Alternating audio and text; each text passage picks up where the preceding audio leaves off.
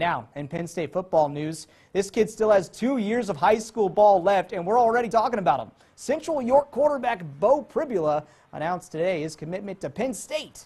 He also had offers from Nebraska, Northwestern, Rutgers, Temple, Virginia Tech, and West Virginia, and that's not even close to the full list. He's set to graduate high school in 2022, so Penn State looks to hold on to his commitment until signing day in a couple years. Now to the league.